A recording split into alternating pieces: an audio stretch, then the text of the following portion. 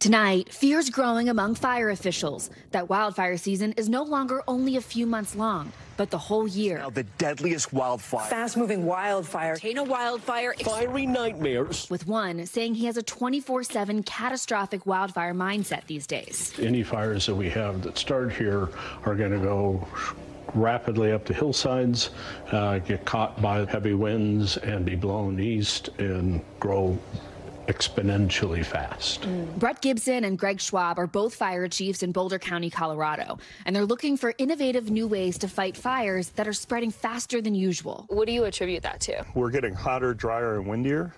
Um, we're having more extreme weather.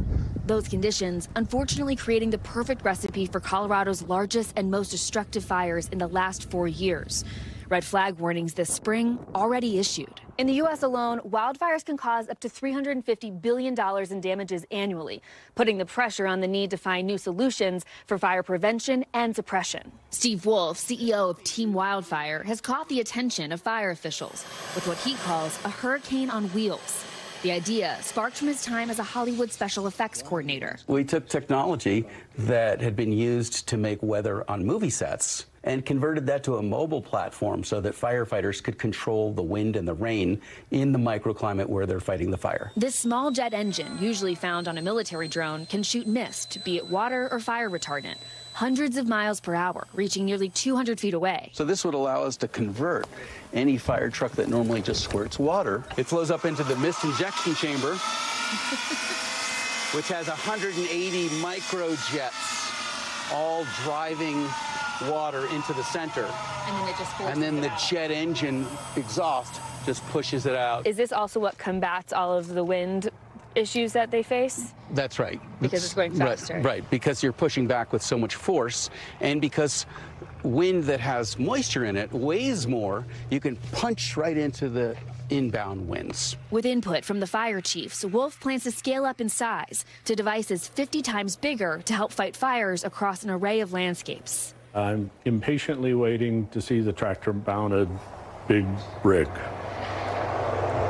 Only because boys and big toys. New tech like this developing across the country that can hopefully be used in conjunction with one another, like the LA Fire Department's Thermite RS3, a robot used for complex structure fires, and Lockheed Martin's AI technology used to predict a fire's path. How important is it that new technology continues to be developed given how much we're seeing in the changes of climate and the frequency of fires? We embrace all technologies. We do want to prove them. This is a very labor intensive business, and everybody who's on the ground is at risk. Anything that we can do to reduce that, let's try it.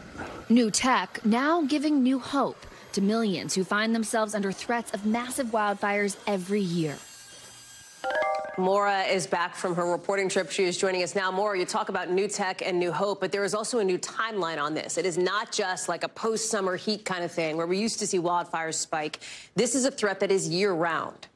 Exactly, Hallie. And the thing that firefighters focus on when it's happening year round is the suppression when it's actually happening, right? But also the prevention leading up to it. And the tech that we showed you in that piece actually has the ability to use that same jet engine to spray water, fire retardant ahead of time on roads or in areas where wildfires can spread easily to prevent them from jumping back and forth. And so that's something that can also be helpful for these teams, along with prescribed burns, which help reduce the fuel uh, that wildfires spread with. So having this ability to do that safely and ease any hesitancy or trauma that a lot of neighborhoods uh, and areas where they've experienced really stark wildfires, that's a way they can ease those tensions and also tackle it safely and in a controlled way. Thanks for watching. Stay updated about breaking news and top stories on the NBC News app or follow us on social media.